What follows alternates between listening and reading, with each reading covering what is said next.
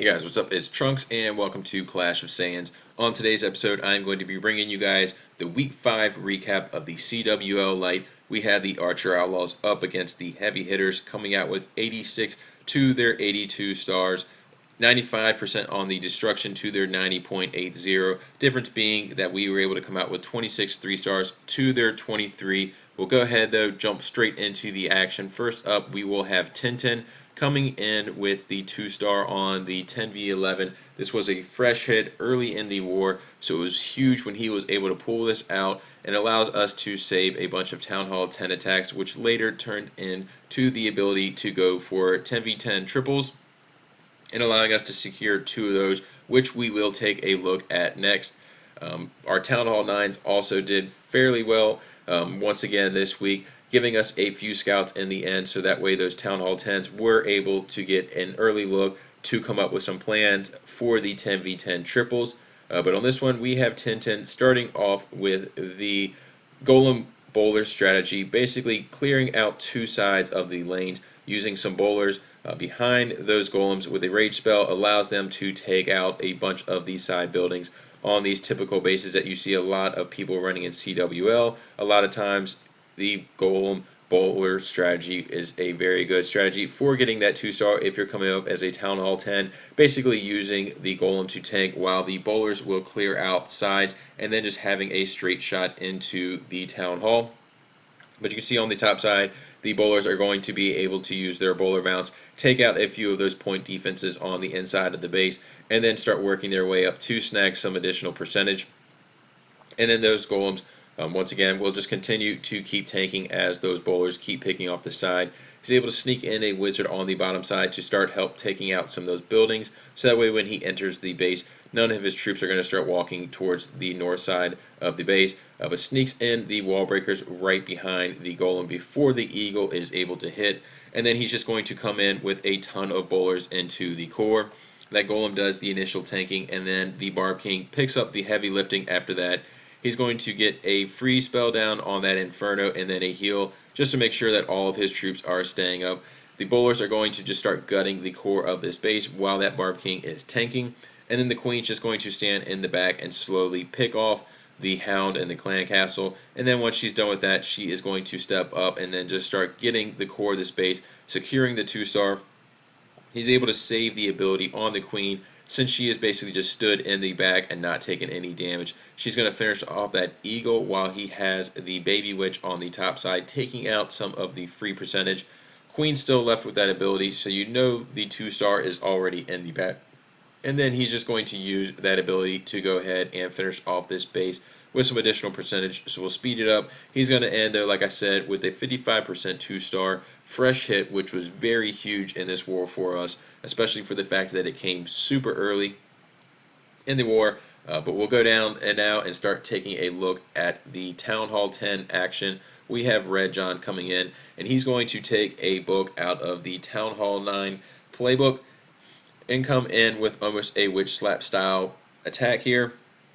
But he's going to start his witches off on the sides, recognizing that the Inferno Towers are not going to be able to touch the outsides of the base. Few healers on those witches, and they will be able to make their way down the sides of the base. And then he's just going to come down the core with his heroes, a golem, and then a bunch of bowlers behind that. And that's going to be the key on this one. Instead of the Town Hall 9 style of bringing a ton of additional witches to come through the core of the base, he's going to load up on some additional bowlers and they're just going to gut the inside core of this base while the witches work on taking the outside two jumps so he's able to easily access the whole part of this base get through the core gut it get over to those heroes take them out get that clan castle and then just allow those witches on the sides of the base to continue their walks down while they sit there and pick off the side point defenses um, those bowlers continue to work through Queen is just standing in the back still with the ability. Um, that is going to be one of the key things in the end. The Golem is going to tank as well in the core, and then once it goes down, the Barb King's there to pick up the slack. Um, so that way the Queen is able to just sit back and continue just working on taking out the core of this base. The witches continue to make their walk around the outside, and then the bowlers are just going to just slowly die off, uh, but not before gutting, like I said, the core of this base and taking out most of it. And at this point, you can see this one is shaping up to be the three-star that it was coming in, only a Wizard Tower left, and that is going to go down. So we'll go ahead and speed this one up as well and finish this one off for the first 10v10 triple that we had this week. So then we will go ahead, jump into the second 10v10 so that way you guys can take a look at that one. We're going to have Hisham coming in and he's going to come in with a very similar attack, uh, just without the healers this time, but he's going to bring a whole lot more bowlers, so that way they're able to get in there and just start gutting the core of this base as well. One of the key things to note on this one is the placement of the Inferno Towers. They are all relatively close, unlike most bases that have the Inferno Tower moats at Town Hall 10. This one does not, so the bowlers are able to easily get across this one and work and take them out, while the witches continues to work through the sides of this base. But he's going to start off with the golems and the witches coming down the sides with a few bowlers. And then here comes the massive amount of bowlers just coming right into the core of the base. With those heroes, he's going to have an early rage down so that way they're able to work straight through. Gets a jump down already leading into that core of the base, opening up everything. He's got a baby dragon and a dragon come out of the clan castle, so poison spell will easily be able to deal with them while the bowlers and queen work to just start gutting the core of this base and then they're going to step up right in the core. He has a heal spell down, so that way everything coming through that first tower, Inferno Tower is healed back up, and then he has the jump spell leading into the final Inferno Tower. The Queen's going to take that off, and then the bowlers are going to just continue working on taking out some of the vital buildings in the core of this base. Pops that Queen ability, and she is going to finish off taking out those Wizard Towers. And at this point, there are only two point defense towers left. Um, so this one is shaping up to be a very good three star. Queen eventually goes down in the core of that base, but he has enough bowlers and witches that they will continue around and finish off this base. So we'll go ahead and speed this one up just a little bit so that way you guys we can get on to the next one uh, but I will let you guys see the full attack play out goes ahead throws down that poison spell in the end and swags it on that town hall as he goes ahead and finishes off the three star for the second 10v10 that we had. This war set us up in a very good spot. Coming into the end of the war um, heavy hitters very good war for them. They struggled a little bit on our town hall 11s which allowed us to capitalize on especially for the fact that we were able to take out their town hall 11s um, relatively easily or not waste a bunch of attacks. I believe we had this one, the breakdown was three Town Hall 11s, eight Town Hall 10s, and then a fill for Town Hall 9s, coming in on a 30 versus 30. Um, so there was a good amount for us. Um, typically for a light breakdown, we run 2, 6, 8, 17. So this was a step up for us to get a few additional people in there and being able to take out the Town Hall 11s. Um, I believe we only had to waste seven attacks um, to get three bases down, which is very good. One being a fresh hit, the second base we were able to take down in two hits, and then the third one we struggled on a little bit, but we are able to get it after the fourth hit. Uh, but that's still very good that we did not waste a ton of attacks in that area. Left us with a bunch of attacks, like I said, at the Town Hall 10 level, and we were able to easily just go ahead, come in, and try some variations on attacks, fine tune them, and then secure those three stars. But next up, we have Amishan coming in. Uh, this was his first CWL war with us. Threw down a six pack for us. Uh, we'll take a look at both of his hits, but he's going to come in very easily. Anytime you see that queen sitting very close to the side of the base and able to get that clan castle, you can easily just think of coming in with a mass hog attack, um, either suicide heroes or possibly one golem. Get them in there, take out that queen, take out that clan castle, and then just come in with heal spells and hogs all around the base. You're going to see this one. He's just going to straight up demolish this one. And I believe he comes in with a similar hit on his second style. Um, so you can see if the base is open for it, you can use pretty much the same strategy. Fine tune a few of the troops, uh, but completely demolish it. He's got five hogs and a wizard still in the bag on this one. Queen still up in the core of the base, working with the ability still, uh, but he's going to go ahead and just straight demolish this base. We'll speed it up as the hogs are working on the cleanup.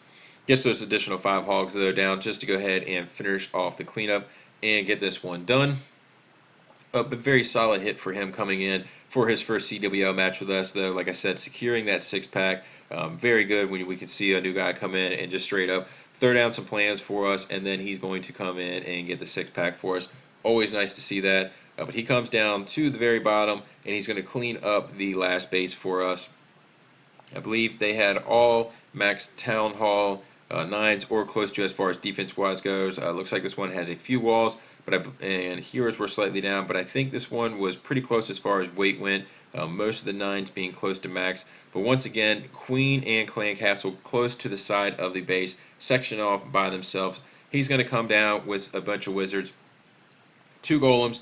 He's going to get that side cleared out for that funnel, and then just have the heroes go in there as that Clan Castle gets dealt with, and then he has the queen right there where he's going to be able to easily get in there, have that Barb King take her out, and then from there it's going to be the Hogs coming in with heal spells, just straight up demolishing this base.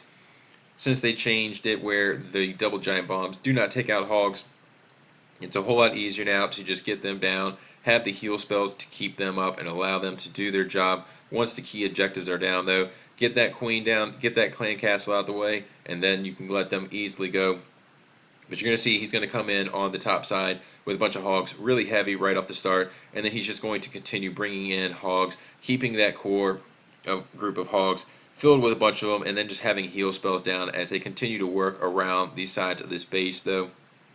And already you can see this one shaping up all the wizard towers on the backside. Hogs are staying in the wizard or in the heal spells while they're going through this wizard tower, so easily able to deal with those.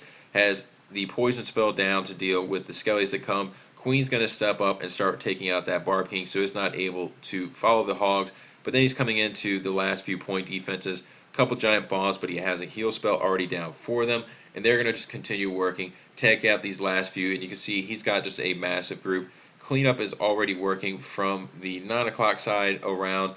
Gets a few wizards down on the 12 o'clock side.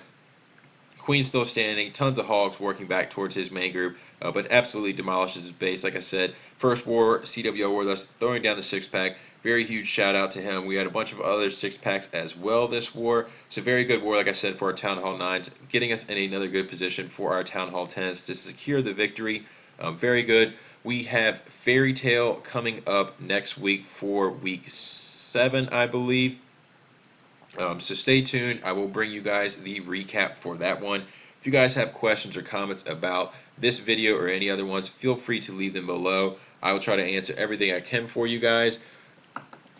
If you guys, though, need anything else, though, feel free to let me know. But until next time, this is Trunks helping you stay over 9,000.